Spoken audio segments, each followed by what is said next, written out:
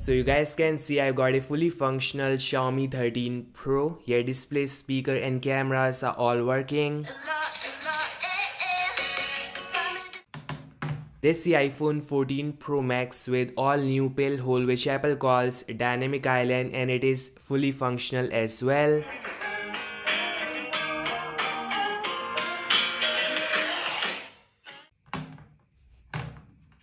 And then we have Samsung S22 Ultra, no issues whatsoever. So all these devices are IP68 certified and let's see if they can survive an extreme water test or not. So starting things with water jet slash shower test and here we go.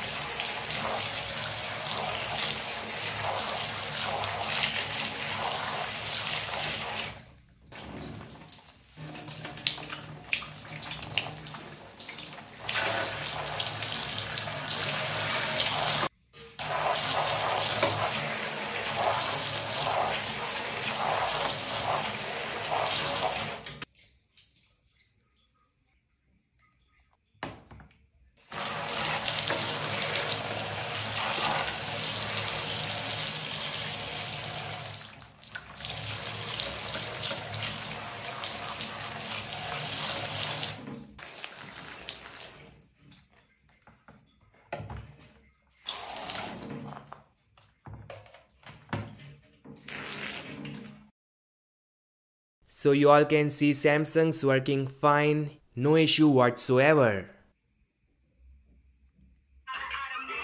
Apple is working fine too, camera, speaker all are functional as of now and no issues whatsoever. And finally Xiaomi, yeah, initially I thought Xiaomi is gonna die but wow, it is working fine, camera, speaker all are functional. Now 10 minute continuous underwater test and again fully functional devices.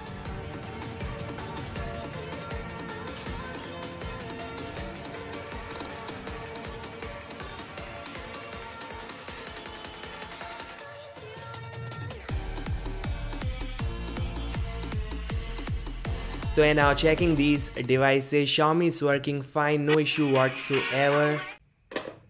SIM card tray is intact and a nice job done by Xiaomi overall. The iPhone 14 Pro Max is working fine, no damage whatsoever. Your camera, speaker are functional and SIM card tray is intact.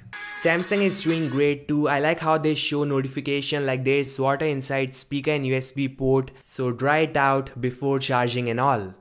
So yeah, again all devices are working fine, no damage in display or cameras or speakers, so all are fully functional right now. Checking them again after two and a half hour. And guys no issue whatsoever, all devices are fully functional, no damage at all. This all guys, thanks so much for watching, your thoughts in the comment section below. And I will meet you guys in the next one, peace out.